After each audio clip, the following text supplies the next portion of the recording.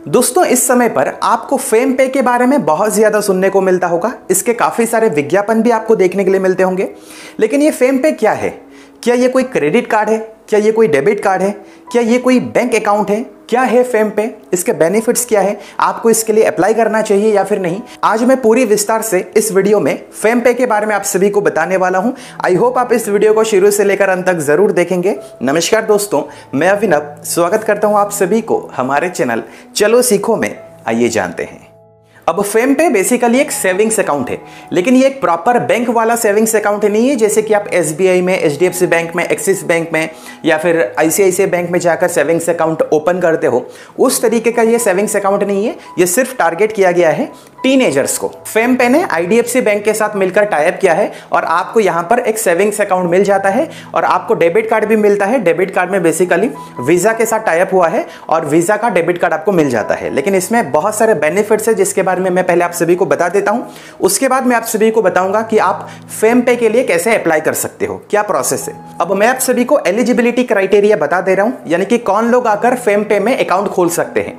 तो जो लोग 11 ईयर्स से लेकर 20 ईयर्स के बीच है और जो लोग 35 ईयर्स प्लस है 11 से 20 और 35 प्लस वो लोग यहाँ पर बहुत इजीली 30 सेकंड में एक अकाउंट खोल सकते हैं। लेकिन जो लोग 21 ईयर से लेकर 34 तक है 21 से 34 ये लोग यहाँ पर ऐसे ही अकाउंट नहीं खोल सकते हैं। अगर वो अकाउंट खोलना चाहते हैं तो 11 से 20 के बीच जिनका अकाउंट पहले से है, अगर वो रेफर करेंगे, तभी वो अकाउंट खोल सकते हैं। तो बेसिकली 11 से 20 ईयर्स का मतलब क्या है? जो बच्चे होते हैं, यानी कि बच्चों को ये टारगेट किया गया है, और 35 प्लस का मतलब क्या है? जो पेरेंट्स होते हैं। तो पेरेंट्स और बच्चों को टारगेट किया गया है। 21 से 34 के बीच जो है, जिसके अंदर मैं भी इंक्लूड होता हूँ, हम लोगों को ये टारगेट नहीं किया गया है। हम लोग यहाँ पर अकाउंट कैसे खोल सकते हैं? अगर कोई माइनर आकर, यानी कि 11 से लेकर 20 के बीच अगर कोई है, जिसके पास पहले से ये अकाउंट है, अगर वो हमें रेफर कर रहा है तो हम यहाँ पर अकाउंट ओपन कर सकते हैं। ये है एलिजिबिलिटी क्राइटेरिया अब इसके बेनिफिट्स क्या है? वंस आप यहाँ पर अकाउंट खोल देते हो, आपको ये जो फ़िज़िकल कार्ड मिल जाता है, इसमें ये नंबरलेस होता है। यानी कि कोई भी नंबर यहाँ पर लिखा हुआ नहीं होता है, जैसे कि नॉर्मल डेबिट कार्ड में लिखा हुआ होता है। तो नंबर यहाँ पर लिखा हुआ नहीं होगा तो अगर आपका कार्ड खो जाता है तो चोरी होने का चांस नहीं होता है। अगर कोई चोरी भी करेगा तो उसमें नंबर नहीं होगा। तो फ्रॉड ट्रांजेक्शन भी नहीं कर सकता है। साथ ही साथ यहाँ पर आपको फेम कॉइन्स मिल जाते हैं। फेम कॉइन्स से आपको अलग अलग टॉप ब्रांड्स में काफ़ी सारे डिस्काउंट्स देखने के लिए मिलते हैं। आपको वर्चुअल कार्ड भी मिलता है, आपको फ़िज़िकल कार्ड भी मिलता है। आप ऑनलाइन भी इससे स्पेंडिंग कर सकते हो और आप ऑफलाइन भी इससे स्पेंडिंग कर सकते हो। आपको यूपीआई का फीचर भी मिल जाता है तो यूपीआई के ज़रिए भी आप पेमेंट कर सकते हो। कोई भी हिडन फ़ी नहीं है, यानी कि बिल्कुल फ्री पे आपको ये कार्ड मिल जाता है। अब अगर आपको फेम पे में अकाउंट खोलना है या फिर फेम कार्ड के लिए अप्लाई करना है तो इसके लिए दो प्रक्रिया होती है, ठीक है, सबसे पहले क्या है, आप प्ले स्टोर पर जाकर एप्लीकेशन को इंस्टॉल करके वहाँ से आप अप्लाई कर सकते हो, या फिर आप इनकी ऑफिशियल वेबसाइट पर जाकर भी अप्लाई कर सकते हो। मैं सबसे पहले आपको बता देता हूँ कि आप प्ले स्टोर पर जाकर कैसे अप्लाई कर सकते हो। तो बेसिकली आपको प्ले स्टोर पर जाना पड़ेगा, वहाँ पर आपको सर्च करना पड़ेगा फेम पे। सर्च करने के बाद आप खुद चेक करना, इसकी जो रेटिंग है वो है 4.2 की। आप इसे इंस्टॉल करना इंस्टॉल करने के बाद ये सबसे पहले आपसे आपका फ़ोन नंबर माँगता है। आप अपना फ़ोन नंबर वहाँ पर डाल देना, उसके बाद आपके नंबर पर एक ओटीपी आएगा।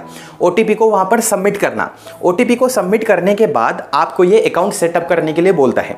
तो बेसिकली पहले जैसे मैंने आप सभी को बताया है कि 11 से 20 के बीच और जो 35 प्लस ईयर्स वाले हैं, वो लोग क्या कर सकते हैं? डायरेक्टली यहाँ पर अकाउंट क्रिएट कर सकते हैं। उनको कोई भी दिक्कत नहीं आती है। लेकिन जो लोग 21 से लेकर 34 के बीच है, वहाँ पर वो एक रेफरल कोड माँगता है। अगर किसी ने आपको रेफर किया है तो रेफरल कोड वहाँ पर डाल देना, उसके बाद आप सबमिट पर क्लिक कर देना। उसके बाद तुरंत वो क्या करता है, आपसे कुछ डिटेल्स माँगता है। जैसे कि आपका नाम क्या है और आपका डेट ऑफ़ बर्थ क्या है? तो नाम और डेट ऑफ़ बर्थ वहाँ पे डाल देना। ये जो नाम और डेट ऑफ़ बर्थ है ना, ये डेबिट कार्ड में प्रिंट होके आता है। उसके बाद ये आपसे आपकी लोकेशन की परमिशन माँगता है तो बेसिकली आपको वो परमिशन देनी पड़ती है अलाउ करनी पड़ती है। अलाउ करने के बाद जो फाइनल स्टेप होता है, वो है केवाईसी केवाईसी में सिर्फ़ आपको आधार कार्ड की डिटेल्स देनी पड़ती है। अपना आधार नंबर वहाँ पे डाल देना और उसके साथ जो मोबाइल नंबर लिंक हुआ है, उस पर एक ओटीपी आएगा। ओटीपी डाल देना, उसके बाद आपका अकाउंट तुरंत एक मिनट के अंदर ही अंदर क्रिएट हो जाता है। अकाउंट क्रिएट करने के बाद आप जैसे साइट पे चेक कर सकते हो, यहाँ पे बैलेंस लिखा गया है, यानी कि आप यहाँ पे पैसे डिपॉजिट कर सकते हो। पैसा डिपॉजिट करने के लिए क्या करना पड़ेगा? वहाँ पर एड मनी का एक ऑप्शन होगा। एड मनी पे क्लिक करना, उसके बाद आप नेट बैंकिंग के ज़रिए डेबिट कार्ड के ज़रिए, या फिर यूपीआई के ज़रिए वहाँ पर पैसे भेज सकते हो डिपॉजिट कर सकते हो। यहाँ पे आप ट्रांजेक्शन की लिमिट को भी सेट कर सकते हो, यानी कि अगर आपको चाहिए कि एक पर्टिकुलर लिमिट से ज़्यादा आप स्पेंड नहीं करोगे तो वहाँ पे एक लिमिट को भी आप सेट कर सकते हो। ईयरली आप मैक्सिमम दो लाख रुपए का ट्रांजेक्शन ही कर सकते हो। अब इस समय पर, यानी कि जब मैं ये वीडियो बना रहा हूँ, इस समय पर यूपीआई वाला फीचर और एक फ़िज़िकल कार्ड ऑर्डर करने के लिए जो फीचर है ना, इन दोनों फीचर्स को पॉज किया गया है। पहले आप ऑर्डर कर सकते थे, अभी पॉज होके हैं, आने वाले समय में फिर से इसको रिज्यूम किया जाएगा।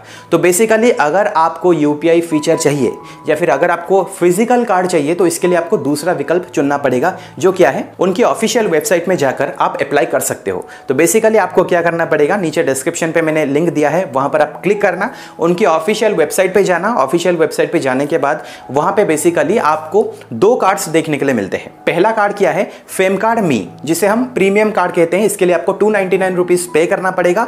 दूसरा जो है, वह है नॉर्मल कार्ड दोनों ही कार्ड्स में आपको बेनिफिट्स लगभग सेम मिल जाते हैं। जैसे कि नॉर्मल कार में जहाँ पे आपको नाइन्टी नाइन रुपीज़ पे करना पड़ता है, वहाँ पर आपको कस्टमाइज नेम मिल जाता है। आप अपने नाम को कस्टमाइज कर सकते हो। टैप एंड पे वाला फीचर भी आपको यहाँ पर देखने के लिए मिलता है। साथ ही साथ आपको टू एक्स फैम कॉइन्स मिल जाते हैं रिवार्ड्स के तौर पे। और अगर मैं आप सभी को प्रीमियम कार्ड के बारे में बताऊँ, जहाँ पर आपको टू नाइनटी पे करना पड़ेगा, यहाँ पर आपको फोर एक्स फैम कॉइन्स मिल जाते हैं रिवार्ड्स के तौर पे। टैप एंड पे वाला फीचर यहाँ पर भी है। साथ ही साथ आप अपने नाम को कस्टमाइज कर सकते हो। आपको लगभग हंड्रेड डूडल्स मिल जाते हैं, यानी कि जो स्टिकर्स वगैरह होते हैं, ये आप कस्टमाइज कर सकते हो। साथ ही साथ अगर मैं आप सभी को सब्सक्रिप्शन के बारे में बताऊँ तो आपको वर्थ थ्री थाउज़ेंड रुपीज़ के सब्सक्रिप्शन भी मिल जाते हैं। जैसे कि गाना प्लस हो या फिर जोमेटो प्रो हो, ये सब्सक्रिप्शन आपको इस कार्ड के साथ मिल जाते हैं। लेकिन इसके लिए आपको पे करना पड़ेगा टू नाइनटी नाइन रुपीज़ मैं आपको रेकमेंड करूँगा नाइन्टी नाइन रुपीज़ वाला आप ले सकते हो, या फिर अगर आपको सब्सक्रिप्शन चाहिए तो टू नाइन्टी नाइन रुपीज़ वाला भी आप ले सकते हो। तो बेसिकली आपको क्या करना पड़ेगा, जो नीचे डिस्क्रिप्शन पे मैंने लिंक दिया है, वहाँ पर आप क्लिक करना, उसके बाद आपको वहाँ पे गेट फेम कार्ड पे क्लिक करना पड़ेगा। क्लिक करने के बाद आपको चूज़ करना पड़ेगा, आपको नॉर्मल कार्ड चाहिए या फिर प्रीमियम कार्ड चाहिए। उसके बाद नेक्स्ट पे क्लिक करना पड़ेगा, उसके बाद वहाँ पे आपको सिग्नेचर देना पड़ेगा। आपका नाम वहाँ पे आपको लिखना पड़ेगा। अलग अलग फॉन्ट्स होते हैं, तीन अलग अलग फॉन्ट्स होते हैं, आप चूज़ कर सकते हो। नेक्स्ट पे क्लिक करने के बाद वो बेसिकली आपसे आपका एड्रेस माँगता है। तो आप सही से अपना एड्रेस वहाँ पे डाल देना क्योंकि इस एड्रेस पर आपका जो कार्ड है वो डिलीवर होता है। तो वहाँ पे एड्रेस डालने के बाद जो फाइनल स्टेप होता है, वो है आपको पेमेंट करना पड़ेगा। नाइन्टी नाइन रुपीज़ हो या फिर two ninety nine rupees payment करने के बाद आपके एड्रेस पर ये कार्ड आ जाता है। तो यहाँ पर आपको फ़िज़िकल कार्ड मिल जाता है। अब सबसे बड़ा सवाल ये है कि आपको फेम पे इस्तेमाल करना चाहिए या फिर नहीं? देखिए फेमपे को एक मकसद से बनाया गया है। एक गैप को फिल करने के लिए बनाया गया है। जो माइनर्स होते हैं 18 साल से कम उम्र वाले बच्चे होते हैं, उनको अपने पेरेंट्स से पैसों की ज़रूरत होती है। तो कैसे वो पैसे लेते हैं? या तो उनके पेरेंट्स के पास जो डेबिट कार्ड होता है, उनका डेबिट कार्ड वो इस्तेमाल करते हैं, वहाँ से वो एटीएम के ज़रिए पैसे विड्रॉ करते हैं। या फिर होता क्या है कि डायरेक्टली वो कैश ले लेते हैं। तो ये जो गैप है, इसको फिल करने के लिए फेमपे को बनाया गया है, क्योंकि 18 साल से कम उम्र वाले जो बच्चे होते हैं, उनके पास बैंक अकाउंट नहीं होता है। तो फेमपे उनके लिए बहुत ईजिली 30 सेकंड में ही एक अकाउंट क्रिएट करके दे देता है और वहाँ पे वो अपने पैसे को रख सकते हैं। लेकिन याद रखना, ये जो कार्ड आपको मिलता है ना, यहाँ से आप एटीएम में जाकर पैसे विड्रॉ नहीं कर सकते हो। आप ऑनलाइन ट्रांजेक्शन कर सकते हो यूपीआई के ज़रिए पेमेंट कर सकते हो ऑफलाइन ट्रांजेक्शन कर सकते हो टैप एंड पे वाला जो फीचर है, इसको यूटिलाइज कर सकते हो यूज़ कर सकते हो, लेकिन एटीएम में जाकर कैश विड्रॉ नहीं कर सकते हो। तो मेरी रिकमेंडेशन आप सभी को यही रहेगी कि आप फेमपे को इस्तेमाल कर सकते हो, कोई भी दिक्कत नहीं है। अगर आप बच्चे हो 11 से 20 के बीच हो, या फिर अगर आप 35 प्लस हो, कोई पेरेंट हो तो ध्यान में रखना मैक्सिमम आप यहाँ पे आठ हज़ार ही डिपॉजिट करना, क्योंकि ये कोई प्रॉपर बैंक अकाउंट नहीं है। अगर हो सकता है तो आप डायरेक्टली अपने पापा, मम्मी का कार्ड इस्तेमाल कर सकते हो एड ऑन कार्ड इस्तेमाल कर सकते हो, या फिर अगर वो डायरेक्टली आपको कैश दे रहे हैं तो उसको भी आप इस्तेमाल कर सकते हो। फेमपे में आप पैसे रख सकते हो, लेकिन कम से कम पैसे रखना, जैसे कि पाँच हज़ार रुपये हो छः हज़ार रुपये हो, इनकी कस्टमर सर्विस जो है, वो उतनी अच्छी नहीं है, मैंने खुद इस्तेमाल किया है, यहाँ पर आपको कॉल का फीचर नहीं मिलता है, आप यहाँ पर डायरेक्टली चार्ट नहीं कर सकते हो, आपको मैसेज भेजना पड़ता है। लेकिन फेमपे जो है, एक अच्छा इनिशिएटिव है, आप ट्राई कर सकते हो, इसमें कोई दिक्कत नहीं है, ऐसा नहीं है कि आपका जो पैसा है, वो चोरी हो जाएगा या कुछ होगा, ऐसा नहीं है। पर मिनिमम पैसे यहाँ पे आप डिपॉजिट करना। आई होप आपको इस वीडियो से फेमपे के बारे में कुछ ना कुछ जानकारी ज़रूर मिली है। अगर आपको ये वीडियो पसंद आई है, इस वीडियो को आप लाइक करें और अपने दोस्तों के साथ ज़्यादा से ज़्यादा शेयर ज़रूर करें।